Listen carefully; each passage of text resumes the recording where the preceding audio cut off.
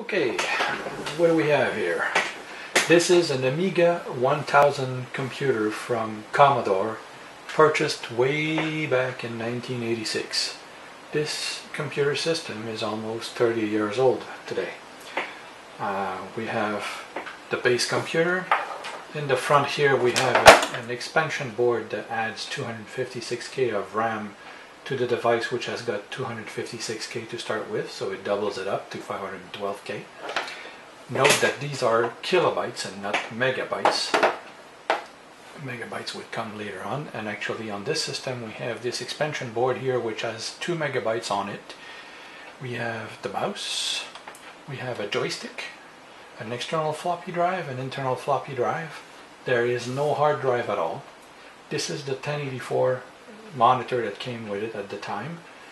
And we have the keyboard that tucks in underneath for storage. But when we need to use it, we can yank it out like this.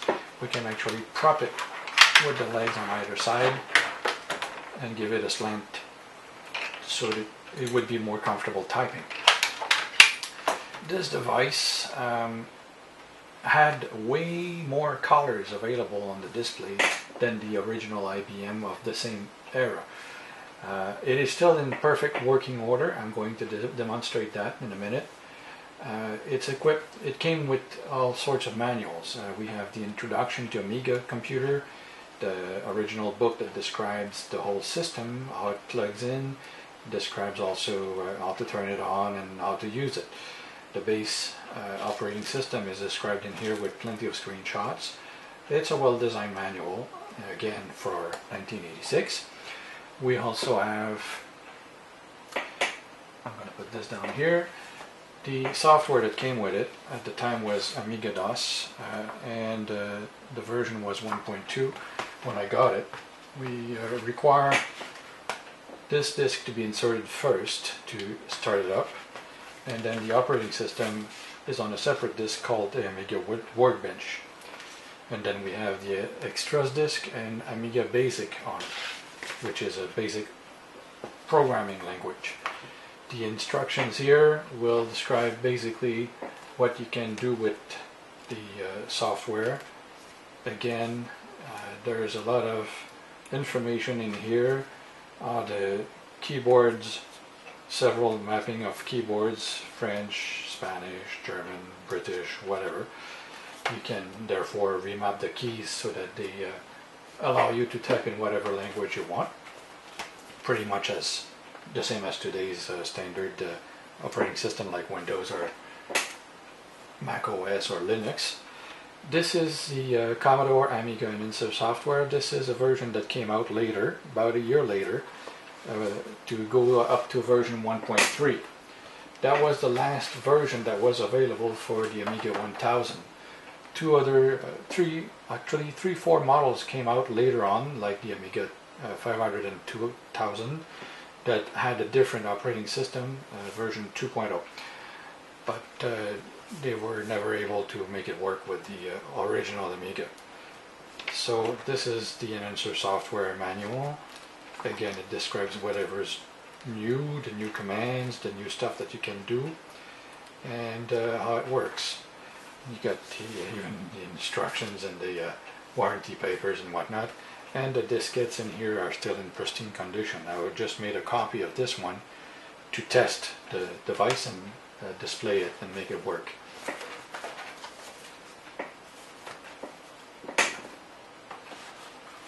Obviously this is not a recent device. This is one of the reasons that the boxes have yellowed a little bit. Here we have also the Amiga Basic Manual that would teach you how to program in basic language on this computer.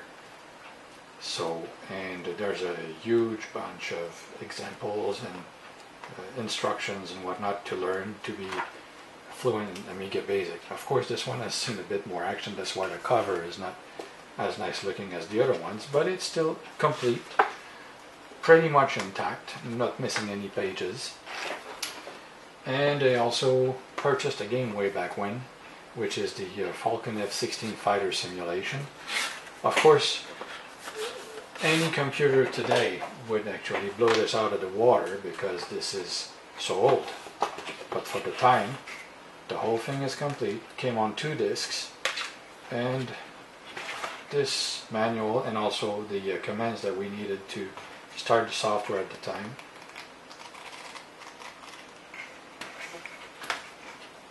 Pretty interesting. Anybody who's interested in uh, flight simulators, this was a good one. So we have the switch here to turn it on. Underneath here we have a volume control. We have some uh, one speaker on one side. However, if you want to have stereo sound, you'd have to hook this up to either a stereo system via the um, auxiliary inputs or some other device that you could uh, use to uh, amplify the sound if you want better sound. And then of course the brightness, tint controls, and the color and vertical holding, all that sort of thing. This is a standard tube monitor, not a flat one, so it's rather deep. I don't know if you can see that on the camera. And the switch to turn on the computer is on this side. This one is already powered up. I'm going to insert the kickstart disc. Turn this on. And this is just like, this would actually be pretty much like what we consider the BIOS today on a standard PC. So therefore this would have been on a chip inside the computer. But at the time this came out, they had to rush it to market and they could not actually burn this on a ROM. And uh, which it, which is what they did with, for the Amiga 500 and 2000. That same software was on a chip instead of being on a floppy drive. So that's one step that we uh, that we didn't have to bother with with uh, later models.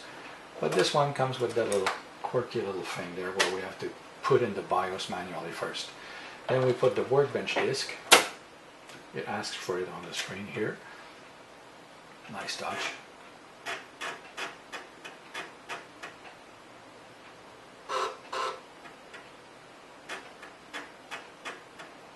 As you can see, this is not exactly a speedy system and it's from 1986 so it is pre Y2K uh, bug if you will so therefore uh, years will not display correctly they, there's no system clock on this thing which it says plain here battery back clock not found there's none